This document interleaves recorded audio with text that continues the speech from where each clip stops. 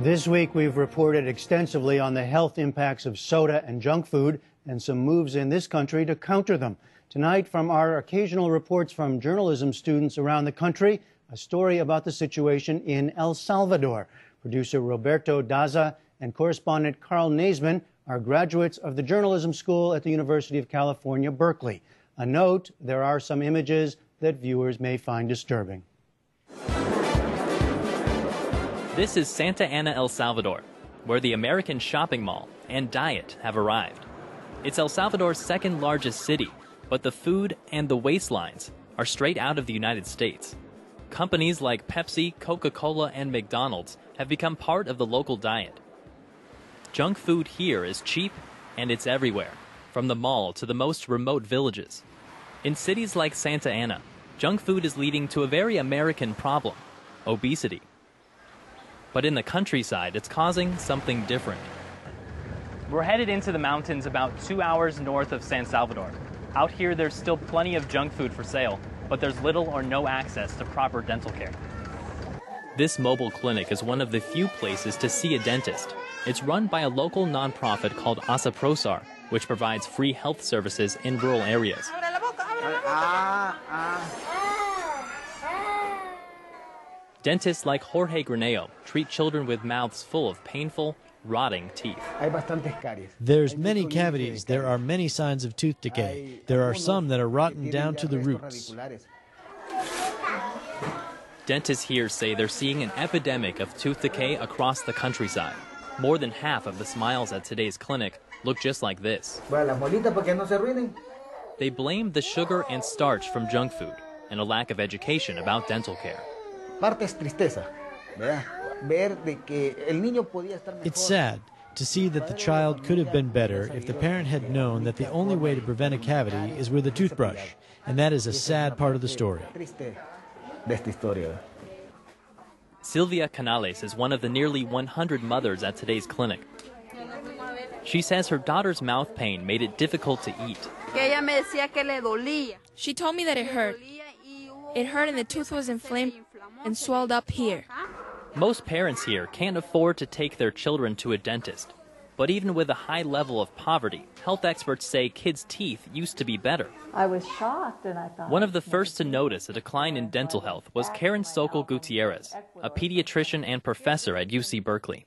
She showed us pictures from 30 years ago when kids had healthy teeth.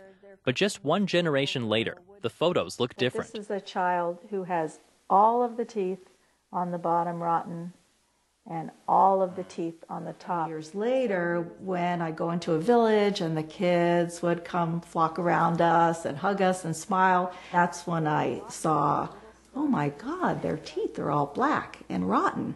I've never seen this before. What happened? So you want to treat your patient. Professor Gutierrez and her team of volunteers work on the ground in El Salvador, training health workers and donating supplies.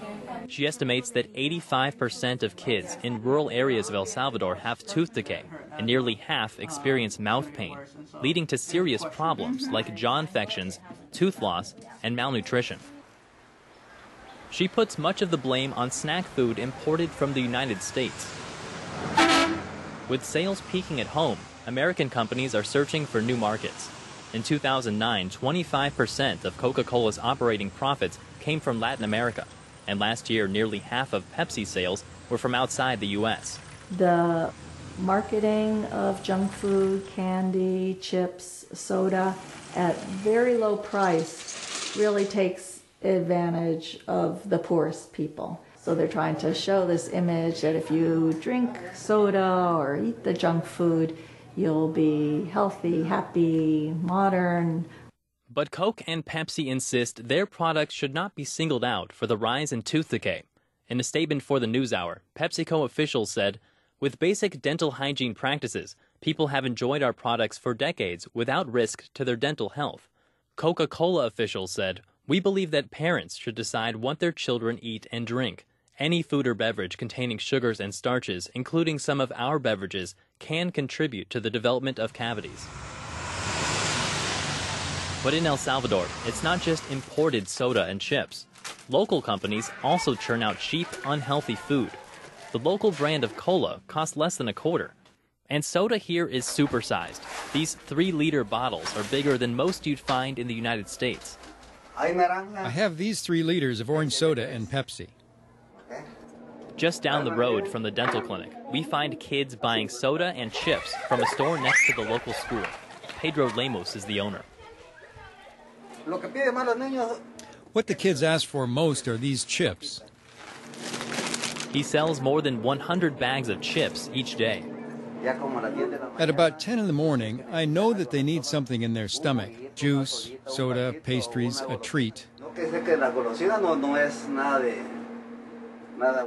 I know junk food isn't healthy, but they want it, and I have to take advantage of what they want.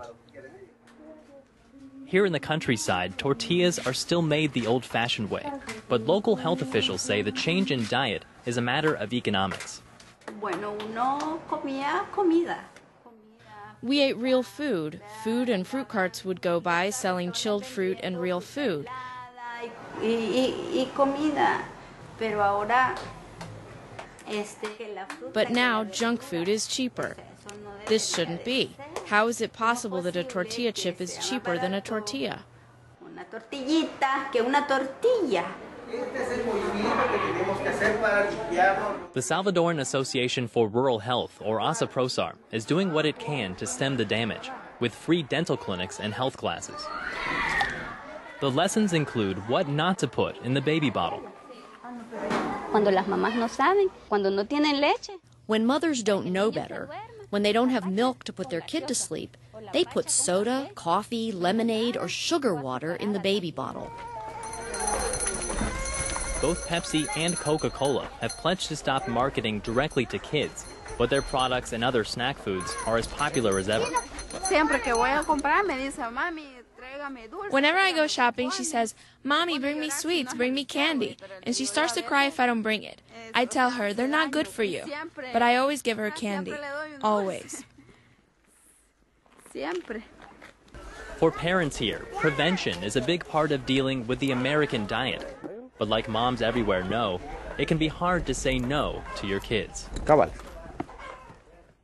Online, you can find our earlier reports on the spike in childhood obesity and the proposed tax on sodas in Richmond, California.